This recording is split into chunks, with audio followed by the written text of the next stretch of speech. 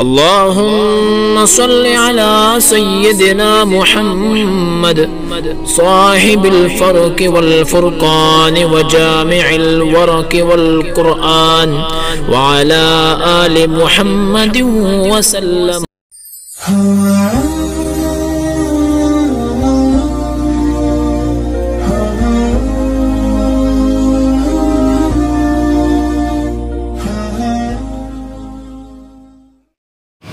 بسم اللہ الرحمن الرحیم دوستو، امید کرتا ہوں کہ سب لوگ ٹھیک ہوں گے۔ جو عورتیں اپنے شوہر کے ظلم سے نجات پانا چاہتی ہیں، یا جو بندہ رزق کے لیے پریشان ہے، اور وہ کہیں بھی جاتا ہے کام کے لیے، اور کام کا مسئلہ بن جاتا ہے، جاب کا مسئلہ بن جاتا ہے، یا کسی قسم کا بھی رزق سے جڑا ہوا کوئی مسئلہ ہے، تو یہ جو درود شریف میں آپ لوگوں کو بتا رہا ہوں، اس کو پڑھیں، اس پر عمل کریں، انشاءاللہ۔ میرے اللہ کے حکم سے آپ کو اس کے رزق مل جائے گا۔ اور درود شریف تو ویسے بھی برکت اور رحمت ہی رحمت ہے اللہ تعالیٰ کی طرف سے۔ ایک انعام ہے، ایک تحفہ ہے مسلمان مومن کے لیے۔ اور بالخصوص میری بہنیں جو میری بہنیں پریشان ہیں اپنے شوہر کے ظلم سے، اور اس ظلم سے نجات پانے کے لیے جو میں آپ کو عمل بتا رہا ہوں، اس عمل کو آپ کریں۔ ٹھیک ہے؟ دوستو، یہ جو عمل ہے، یہ بہت مجرب ہے۔ اور اس عمل کو کرنے کا طریقہ کرنے کا طریقہ اس کا بہت آسان ہے۔ فجر اور مغرب کی نماز کے بعد اکہتر مرتبہ، ٹھیک ہے، اکہتر مرتبہ اس درود شریف کو پڑھیں اور دعا کریں اللہ تعالیٰ سے۔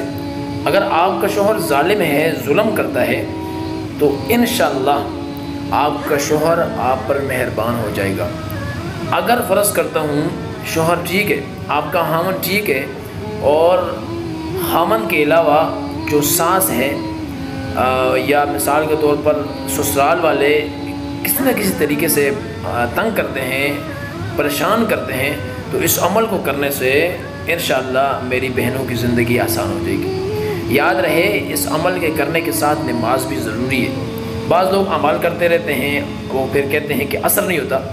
یاد رہے، نماز جو فرائض ہے نا، بالخصوص فرائض فرائض اگر آپ پورے کرتے رہیں تو میں سمجھتا ہوں کہ آپ کو وظائف کرنے کی ضرورت بھی نہیں پڑے گی۔ اور رزق کے معاملے میں جو بندے جاب کے لیے پریشان ہیں، باہر جانے کے لیے یا کسی قسم کا بھی مسئلہ ہے رزق سے جڑا ہوا، تو انشاءاللہ اس عمل سے بہت زیادہ آپ لوگوں کو فائدہ ہوگا۔ یاد رہے دوستو، نماز کی ضرورت ہے، بہت زیادہ نماز پڑھنا ضروری ہے، جو فرض ہیں وہ پورے کرنے ضروری ہیں۔ اور میں سمجھتا ہوں کہ آپ لوگ اگر اس ویڈیو کو دیکھیں اور آگے شیئر بھی کریں، درود شریف میں سکرین کے اوپر آپ کو پڑھ کے سنا دیتا ہوں۔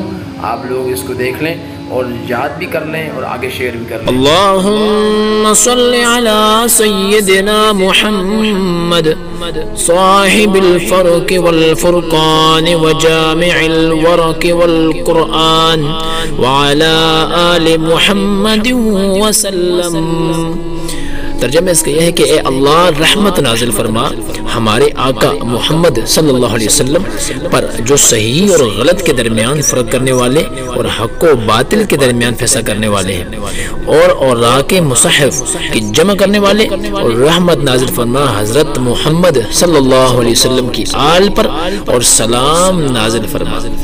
دوستو، یہ ویڈیو میں نے آپ کو کمپلیٹلی بنا کے دے دی ہے، آپ اس کو شیئر کریں اور عمل عمل بھی کریں۔ السلام علیکم ورحمۃ اللہ۔